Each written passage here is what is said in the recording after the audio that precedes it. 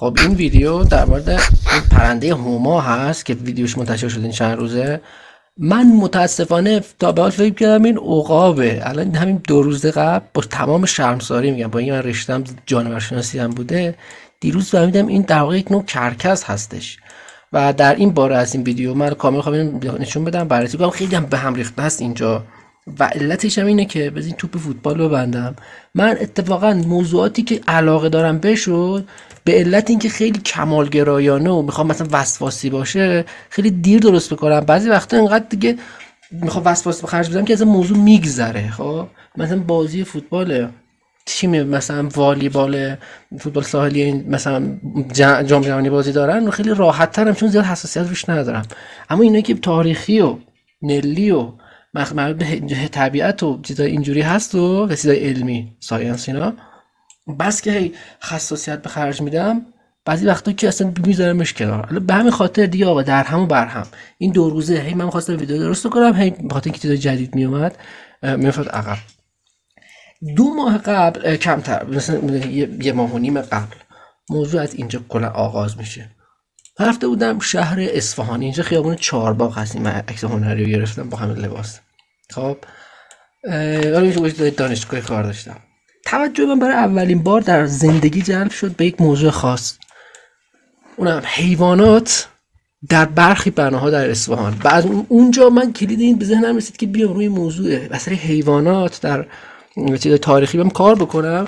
برگشتم اتفاقا کار کردم. حدود دو تا جزوه تهیه کردم اینا درفته.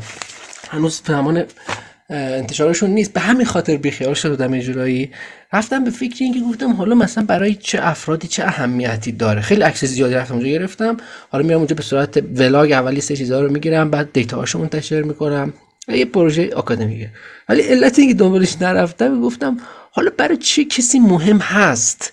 که مثلا در فلان بنای تاریخی چه چیزی وجود داشته باشه چه حیوان اون مثلا حیوانی که اونجا هست چی هست. تا اینکه همین سه چهار روز قبل دیدیم که این فیلم که منتشر شد مربوط به طالقان. آقا من این فیلم اولین باره که می‌خوام به این شکل کامل ببینم چون همش هی با خودم یه تحلیل می‌کردم مطالب من خیلی اطلاعات قبلا داشتم نسبت به این مسائل. حالا تاریخی و همه اینو با هم اومد توی ذهنم.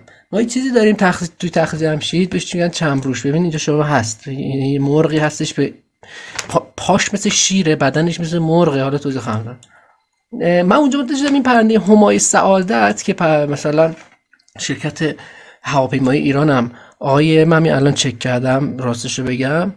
دیشب در واقع چک کردم. آقای زهرابیان طراحی کرده سال زمان قدیم زمان شاه. این این این المان آیا؟ حالا بهش خواهم پرداخت. که این المان همون المان هست یا خیر؟ ما نمی‌دونیم. اما این اطلاعاتی هستش که در مورد این پرنده این پرنده عقاب نیست دوستان کرکسه و بدنش این که می‌بینید نارنجیه این نارنجی نیست. در واقع همینجوری که این روزنامه اعتماد آنلاین گذاشته سفید این و چون خودش رو در حالا که این ادعا کرده در گوگرد خودش رو مثلا میشوره به این شکل در میاد. بعد پانکریاسش اون قده مثلا تولید کننده اسید و که برای هضم غذاست. بعد چون می‌دونید این پرنده استخوان خاره در واقع. استخوان ها رو می‌بره بعضی وقت حتی با لاک پشت از روی ارتفاع پرت می‌کنه زمین وقتی متلاشی میشه میره استخوان تغذیه می‌کنه. سوال مثلا اینه که مثلا استخوان گیر نمی‌کنه تو گلوش؟ چون اینا زنده هم می‌خورن. من دیدم عقاب مثلا جوجه زنده رو می‌خوره. و مرغ من دیدم مثلا چیزای استخوندار مثلا می‌خوره مثلا مثل ماهی و اینا. اسید معده این پرنده جوری که روز بهتان گفته یک. حالا اینو خواستید بعد ببینید در واقع فکت چکش رو باید به زبان انگلیسی چک بکنید که ببینید که در کتاب های زولوژی در این باره چی گفتن. اما آنچنانی که گفته اسید حالا گفته معده حالا نمیشه گفت معده. اسیدی که برای هضم غذا تولید میشه در سیستم گوارشی این پرنده یکه. خب؟ یعنی انقدر این اسیدیه که آنچنان که نوشته شده از فلزات رو می‌تونه ذوب بکنه. چه مثلا استخوان بقای جانداران. خب چون یا می‌دونیم که مورد خار هستش دیگه. واقع کرکس از باقی مانده حیوانات استفاده کنه حدود 2000 حداقل تو ارتفاع 2000 متری از سطح دریا آزاد زندگی می‌کنه و نقشه گستردگیش رو من اینجا داشتم الان. همش به هم ریخته همش به هم ریخته. اینه. فقط در ایران نیست. افراد در ایران. نه این نقشه رو ببینید. کاش اینا رو مرتب کردم. اشکال نداره. می‌خواستم مرتب بکنم ازم میگذشت. مثل این آقای چیز جدی میفرمایید؟ این جدی میفرمایید رو از ثانیه اول من کشفش کردم. ولی هی انقدر می‌خواستم چیزای جدید بیاد update چه بهم در درست کنم که اصلا دیگه گذشت. همه سوژه هاش گذشت. اولین روز من کشفش کردم. حالا الان هوش مصنوعی شما و غیره. حالا همای سعادت هم باید ترجیح از قاطباتی درست بکنیم تو اینجا حرفه‌ای تر باشم. اگه در آپارات دارید می‌بینید من اینجا رو درست کردم همینجا ادامه میدم. ولی یوتیوب دارید می‌بینید صفحه تازه درست شده. ببینم الان کدوم دارید می‌بینید. فکر کنم آرت نوشته آرت سایت. آره چون مثلا به تاریخ و اینا معماری ارتباط داره به اونجا حالا این پرنده در نقاط جهان زندگی می‌کنه. در آفریقا که اینجا منقرض شد نشه که ببینید. جای سبز جایی که الان هست جای آبی جایی که تولید مثلش متوقف شده. ولی هنوز هست. زردم یعنی حالا دوباره در حال بازیابی. این نقشه می‌تونید سرچ بکنید اما سبز مهمه سبز این که دارید ببینید در همه جای این سبزه این پرنده همکنون زندگی می‌کند و در حال تولید مثل نیز هست. ترکیه هست ایران. این بیرون از این جاهایی که کوه هست در ایران. همین من الان توجهم جلب شد. نلت انباری که فلات رشته از البرز و زاگرس این در واقع منطقه منطقه کویر رو در بر می‌گیره به شکل انباره دقیقا همون جاها محل زندگی این پرنده هست که به نوعی در واقع کرکس هستش. و اینجا منطقه شمال افغانستان شمال پاکستان منطقه جمهو کشمیر و چین. چین و بعد رفته قزاقستان و حتی مغولستان. خب حالا اینکه در ببین نپال اینجا مثل کوه اورست دیگه خب اینا هست فقط نیست که در ایران باشه. آه بعد شایعات شایعات رو بگم. کاش اینا رو مرتب کرده بودم. اشکال نه امروز نه حیرت کردم. دیدم که یک چیزی منتشر شده در توییتر گفته که مثلا زیرش مثلا کپشن این بوده که کرکس دیده شده در کوه های طالقان را رفتن چه کار کرده اند بعد اینو بردن اکثر گذاشتن. یک fake دیگه fake news ه. گفته شده که بدون اینکه تیر بهش بزنیم گرفتیمش. نیت این افراد هم اینه که آدم رو عصبانی بکنن از واقع sensitize بکنن برانگیخته بکنن. اما واقعیتش اینه که این تصویر مربوط به استان زنجان هست. مال خیلی وقت قبل. همین الان می‌تونید search بکنید جاش پیدا بکنید. من دیروز که در این باره تحقیق می‌کردم پیدا کردم ولی الان اسمش فراموش کردم که مال کجا هست. در ارتفاعات شیر مشه در واقع. در تارون بله نجات پیدا کرد. می‌دونید ببینید مال تاریخش ببینید مال کیه مال خیلی وقت قبله. حالا هم یه دونه پرنده نیستش که. آه این راستی اینو می‌خواستم بگم. این مهمترین پیام این ویدیو اینه که این هما این در این همای سعادت با کلاق سفید متفاوته. چرا عکسش نیست اینجا؟ وایت ریبن اینهاش این دو موضوع متفاوت از این جهت که این کلاقی که پارسال فکر کنم پیرارسال بود دیده شد که خیلی خیلی بس در تهران دیده شد که خیلی جنجال برانگیخته شده بود. این در واقع یک یک گونه در واقع نمیشه گفت گونه. یک نژادی از یک گونه جانوری نیست. این یک در واقع یک اختلال رنگدانه که این کلاق پیدا کرده. خب؟ و خیلی نادره به خاطر اینکه اشکال تب... اشکاله که در, در, این تولید مثل این جاندار وجود اومده. اما این نادر نیستش که این که مثلا بگیم نادره. این یک جانوریه که یک چندین نژاد داره خیلی هم سرزنده است تولید مثل می‌کنه تولید مثل کمه مثلا هر فصلی دو تخمش در نمی‌ذاره. جوجهش هم خیلی جالب انگیز اگه ببینید. که به شکلی ریش داره این رد نشده این این در واقع این پرهاش این پایین امتداد پیدا کرده. خب این هست این در طبیعت هست و زندگی می‌کنه. یعنی فرزند آور یعنی گونه رو ما وقتی می‌تونیم بگیم یک نژاد هست بله. یک نژاد می وقتی می‌تونیم بگیم که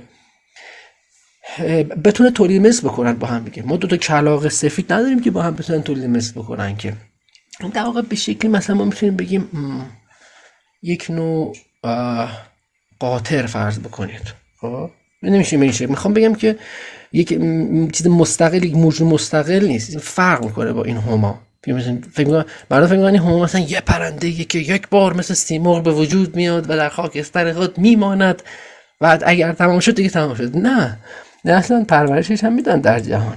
خب حالا این که این پرم بزن این قاطی پادیش بزن عکس رو بیارم که یادم بیاد تجزیه می‌خوام حالا این که این که مثلا میشه در واقع چمروش بهش میگن در تخت جمشید هم المانش رو دیدید سفنکسش حالا فارغ از این که برای تخت جمشید یک بنای کامل هست آیا یا حالا هم حالا اهمیت معماریش تاریخش اینا جای خود ورزش معماری داره.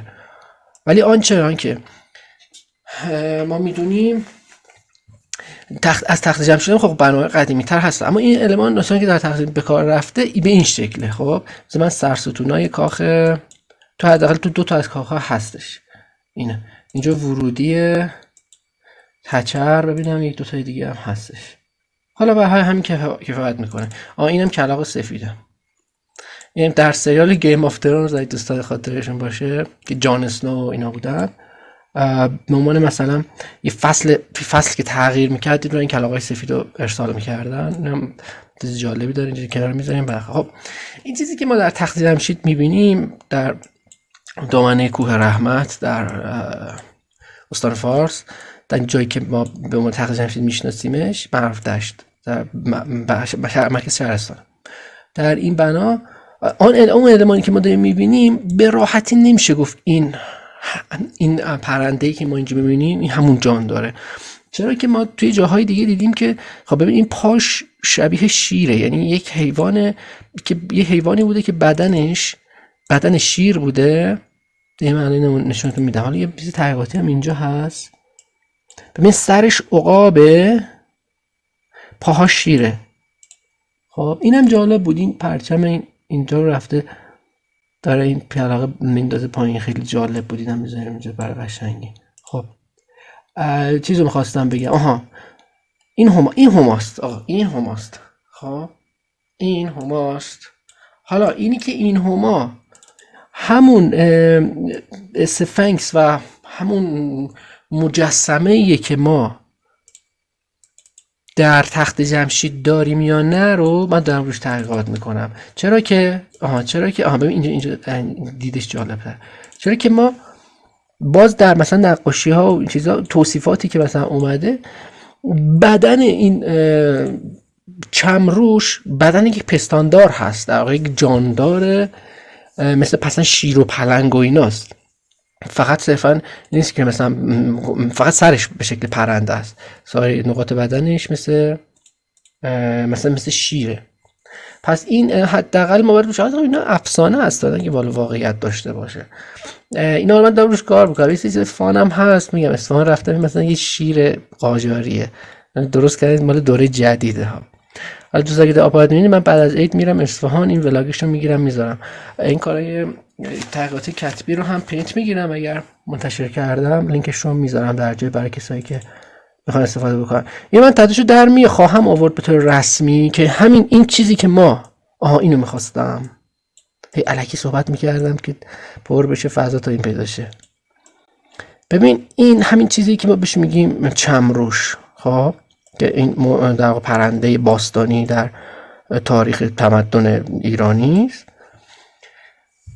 آنچنان که در این تصویر می‌بینید این پرنده یعنی این کریچر در واقع موجود و این جاندار دوم داره. خب که پرنده دوم نداره که اینجا می‌تونید ببینید. دومی به شکل شیر مثلا. و پنجه داره. اینجا می‌بینید که پنجه داره. پنجش به شکل چیه؟ به شکل همین عقاب ایناست.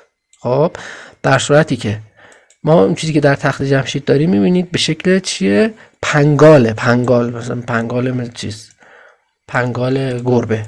خب پس ما اینجا به راحتی نمی‌تونیم بگیم که این ما, ما, فقط یه موجود اینجا داریم نه. ما اینجا ما حداقل سه ما با سه تا موجود در تاریخمون مواجهیم که یکیشون عقاب کامله یعنی به شکل عقاب کامله.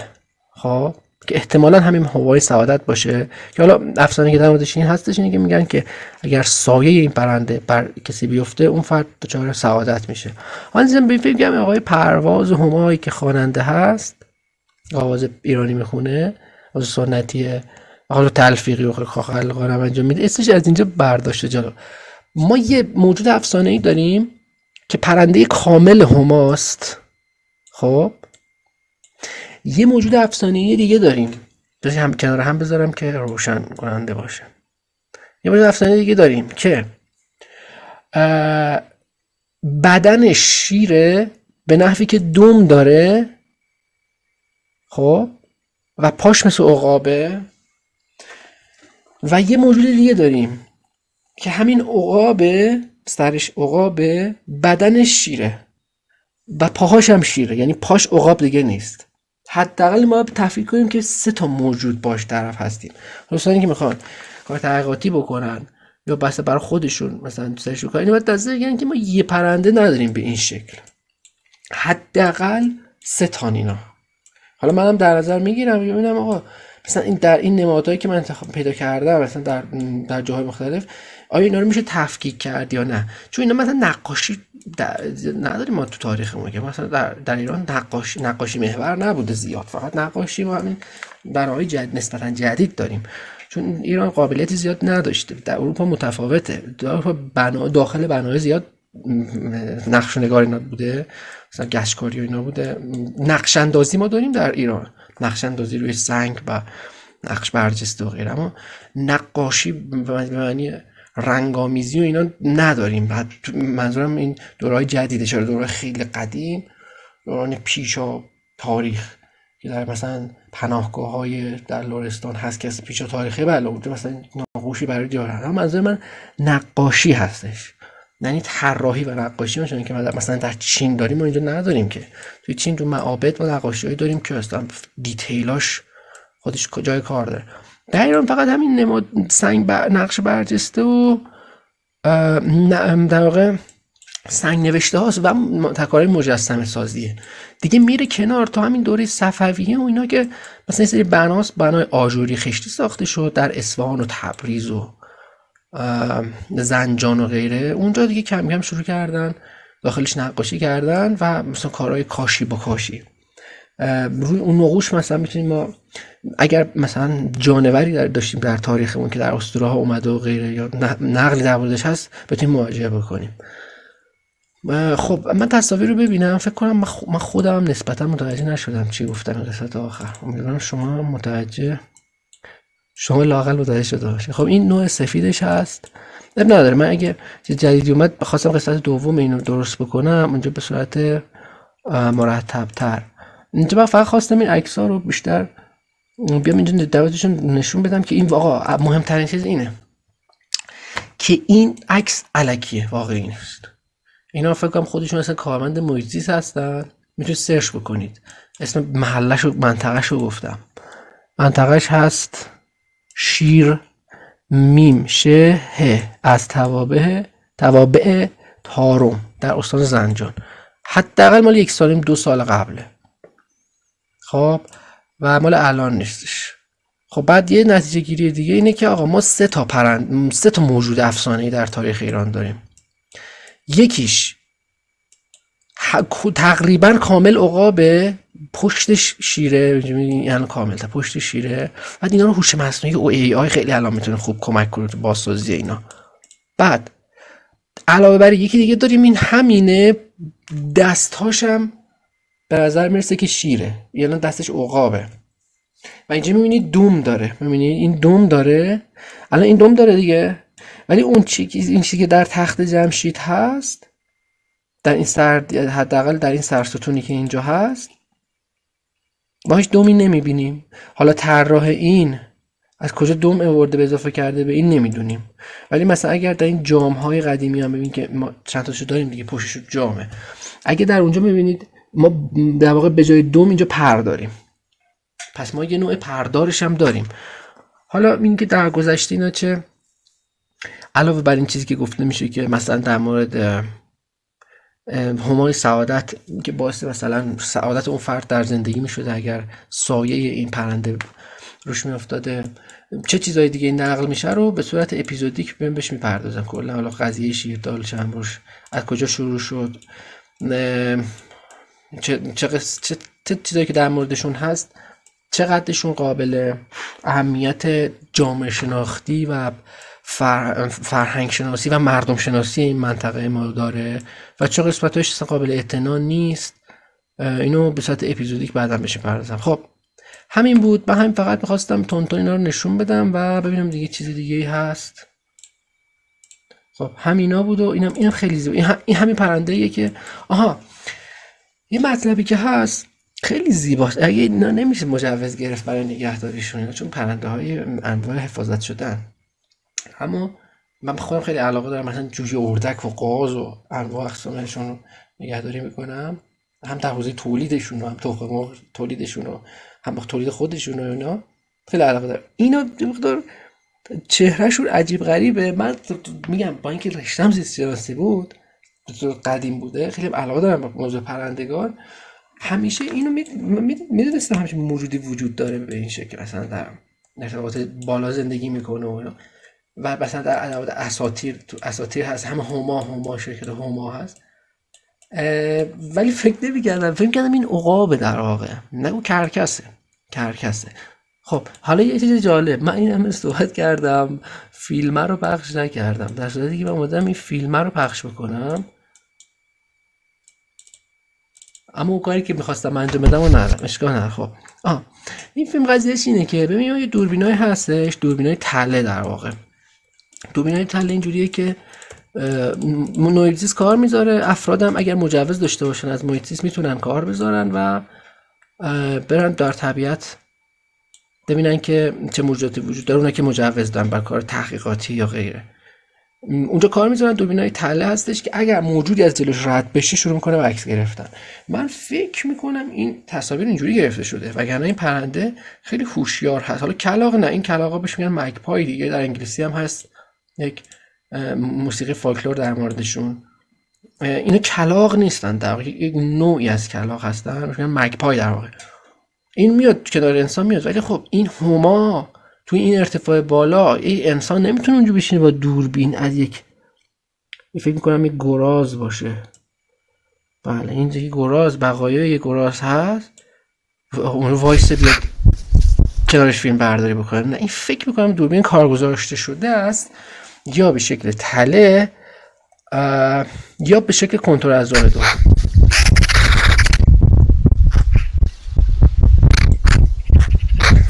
ولی خیلی ابهت داره. من همین الان دارم با دقت می‌بینم خیلی ابهت داره این پرنده رقم اینکه عقاب نیست و عقاب بر ما خیلی مثلا. موجود پر عقاب و است.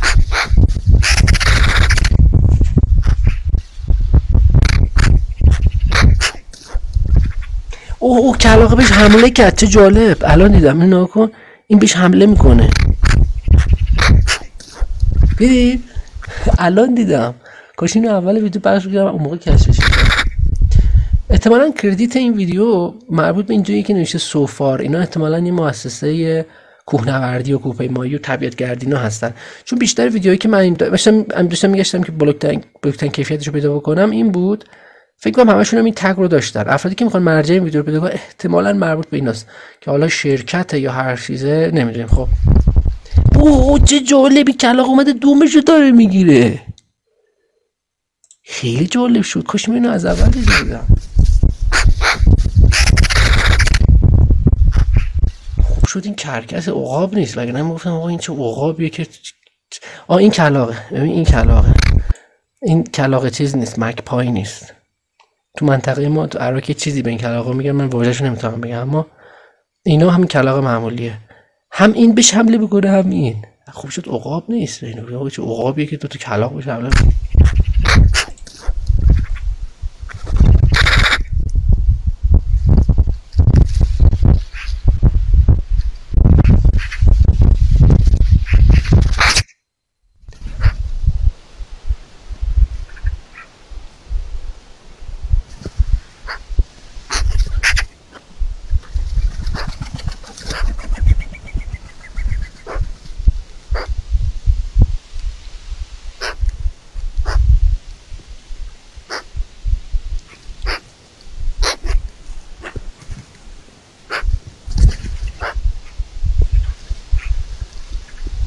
چقدر خوش خیلی پرنده خوشگلیه پاش مخصوصا.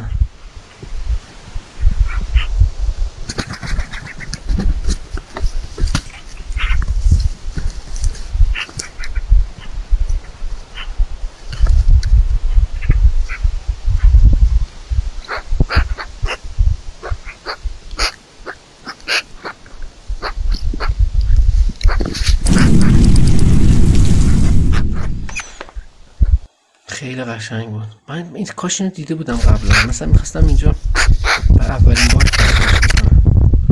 که ثبت بشه که اینجا. ولی داخلش دیدیم کل آقا حمله می‌کنن. خیلی جالب بود این صحنه. اول این بهش حمله کنن بعد جالب اینا هستن این این کلاخ سفیدایی که دم بلندی دارن اینا مک پای بهش میگن. اینا اصلا تو ارتفاع مثلا طالقان تو سرما کار می‌کنه. اینا هم مثلا تو حیات خونه مثل باغچه مادر بزرگی من اینا هست. هم در ارتفاعات مثلا این خونه مادر بزرگی من هم تو هم ارتفاعات در استان مرکزی در جایی که خیلی دقیقه کوه این با اطراف اینجوریه. ولی خب مثلا در لندن هم هست. پس این جاندور در همه نقاط می‌تونید اهمیتش هم اینه که افرادی که نمی‌دونید پرنده ها بر این ارتفاعات بالا میرن بخاطر اینکه تنفسشون بتونه اکسیژن کم رو هم جذب کنه مقدار هموگلوبین خودشون می‌تونه بالای پایین بره باشه.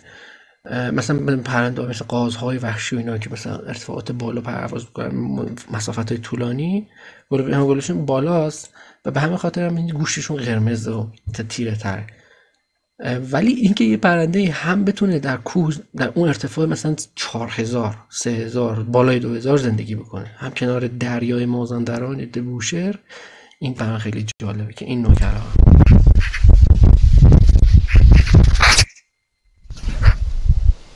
خب همین درگیریش هم دیدیم و تمام شد. خب این این بود موضوع پر... چیز پر... پرنده افسانه ایران. این هم شرکت هواپیمای ایران. نمادش اینه که گفتم طراحی کنندش کی هست. همون شخصیه که چند تا چیز دیگه هم طراحی کرده. این این پوستر مال زمان قدیم مال زمان سابقه. که همین شات تصویری هست که هم شرکت هواپیمای ایران. خب. همین بود فعلا. اگه نظرید من خیلی دیگه هست می‌دونم من یادم رفته. کاش نوشته بودم. اشکال نداره. همینجوری خواستم ثبت بکنم که به صورت دفترش یاد داشت اینا ثبت شده باشه. خیلی ممنون از اینکه همراهی کردید به هر حال. خب اینم تو این تصویر چیزی نبود که ما از دست ها طول بالها به سه متر هم می‌رسد. حالا اینکه ما بیم استناد بگیم به اعتماد آنلاین این کار درست نیست از اکادمیک ها ما باید بریم کلاسیف کتاب های مرجعه به این زبان انگلیسی که طبقه بندی رده بندی کرده این موجود رو به بعد مشخصش بخونیم. خب جالب چون رسانه اشکال نداره. و به سه متر گفته که می‌رسه. آه یه جالب. افرادی که در آپارات دارید می‌بینید یوتیوب فکر کنم اینجا نیست یه دیگه است اینجا فقط برای هنریه پیدا نمی‌کنید یوتیوب. ولی آپارات همینجا من در مورد همین جایی که اون کرکس دیده شده یه ویدیوی دارم من یه روستای community کوچیک اونجا در طالقان هست. باورتون نمیشه که مردمش تو زمان قاجار دارن زندگی می‌کنن. حالا search بکنید پیدا کنید یادم نیست. چنین نمی‌دونم. تو در طالقان موبایل موبایل چیه؟ اصلا دارو اینا کلا خودخواسته ها نه به صورت مثلا به صورت خودخواسته از جامعه دورن. صورت جامعه دورن و ای پیدا که همین لینکش در کامنت ها می‌ذارم. کسی پیدا نکرد کامنت بذاره در آپارات یا در یوتیوب هم یوتیوب هست page page دیگه است فقط مسائل مربوط به تاریخ ایران و اینه تا یه سری سری ویدیو من دارم درست می‌کنم مثل عجیب ترین جاهای ایران. اولین جای عجیبی که رفتم سراغش همین بود. در همین جایی که این پرنده دیده شده در طالقان این برکرج تو اون محدوده جایی هستش یه community هن چند ده هن که اینا با ارتباط ندارن هم به صورت قاجاری زندگی می‌کنن. ایستا. جایی به اسم ایستا. لینکش می‌ذارم در کامنت. ها. همین جایی که این پرنده اونجا دیده شده. خب خیلی هم اونجا آلو داره و میوه جالبی داره. توی طالقا من چندین باره. همین بود و اصفهان هم رفتم چیزای جالبش نشون میدم. ها پیپرها رو هم منتشر خواهم کرد. یه چیزایی من کشف کردم الان نمیگم که لو نره. اول باید منتشر بکنم به صورت رسمی آکادمیک بعد در تاریخ در اصفهان آن آنچنان که در دوره صفوی جهان را می‌دیدن به نظر مثلا موجودات. و به جانور شناسی دیگه نمی‌تونم باز بکنم. خب که این چقدر جالب می‌تونه باشه نظر علمی و مثلا این کتابی که جالب تخیلی هم در موردش بزنم بسه خب فعلا همگی خدا نگهدار. اینم سکانس Game of هم نشون دادم و همین. bye bye همگی خدافظ. امسال می‌خوام بهار برم چادر بزنم وسط این خیابون چهارباغ عباسی مدام مستند درست بکنم بهار. چیزای detail جالب در شهر اصفهان. کارت گردشگری هم گرفتم که اونجا راحت بتونم همینجا فعلا خدا نگهدار همه.